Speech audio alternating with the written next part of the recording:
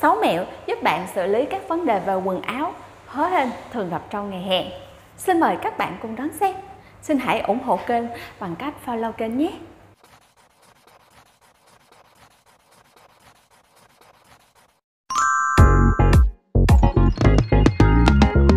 Xin chào, chào mừng các nàng đã đến với Island The Red váy đầm dự tiệc. Mình là Nhi, là founder của Island The Red.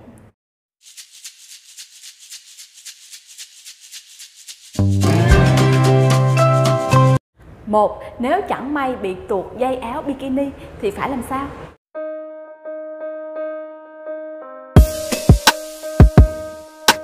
Thường những loại áo bikini á, bạn sẽ cột dây ở cổ và cột dây ở sau lưng. Để an toàn nhất, một mẹo nhỏ là sau khi bạn buộc dây áo sau lưng thì bạn luồn cái phần dây sau lưng bắt chéo ra phía trước để cột thêm một lần nữa. Như vậy sẽ đảm bảo an toàn cho chiếc áo bikini của nàng tha hồ bơi lội trong nước nhé.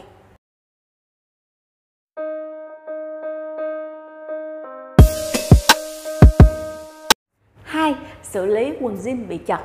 Mùa hè mà phải diện những cái chiếc quần jean chật chội thật là bức bối phải không? Nàng yên tâm, chỉ cần một mẹo nhỏ đó chính là nàng hãy nước vào cái phần chật của chiếc quần jean đó. Ví dụ như là chiếc đùi nó hơi bị chật thì nàng thấm nước ở hai bên đùi Sau đó dùng tay kéo giãn cái phần chỗ thấm nước ra. Như vậy là chiếc quần jean sẽ cảm thấy rộng rãi và thoải mái hơn cho nàng rồi.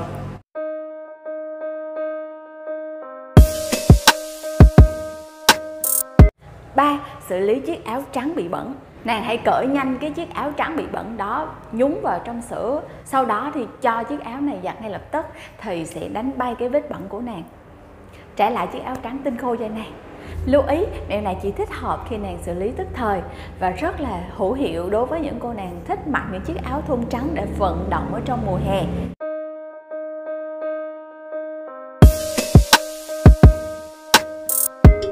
4. Xử lý chiếc đầm, chiếc váy hay bị kéo lên làm nàng mất tự tin. Rất đơn giản trước khi mặc đầm, nàng hãy bôi trên đùi của mình một lớp kem dưỡng da. Lớp kem dưỡng da đó ngoài việc giúp cho chiếc đùi của bạn trông trắng trẻo xinh xắn hơn thì nó còn giúp dính da của mình vào trong váy và làm hạn chế cái việc bị trùng hoặc là chân váy bị kéo lên giúp nàng tự tin khi ngồi nè khi bước xuống xe hoặc là bước lên cầu thang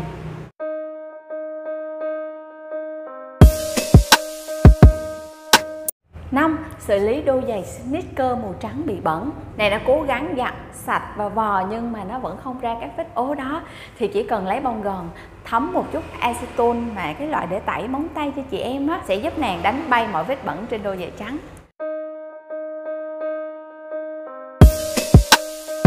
Còn nếu như đôi giày trắng của nàng có mùi, thì nàng chỉ cần tẩm một chút cồn vào trong bông gòn và để ở trong giày một chút xíu. Sau khi cồn nó thoát hơi ra, thì đôi giày của bạn cũng sẽ bay đi cái mùi khó chịu. 6. Lưu ý khi mặc chiếc áo crop top ngày hè.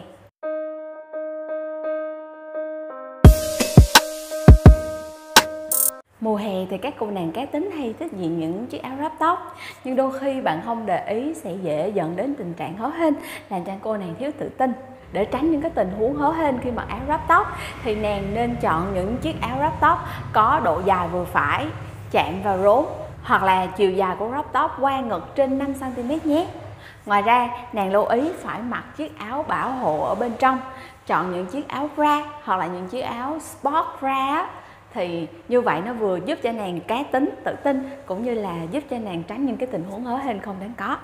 Vậy là Nhi vừa hướng dẫn cho các nàng 6 mẹo để xử lý các tình huống hớ hên thường gặp trong ngày hè rồi. Nếu yêu thích những video của Ellen Red, xin hãy ủng hộ Nhi bằng cách subscribe kênh ngay bây giờ nhé. Cảm ơn các nàng đã dành thời gian theo dõi video này.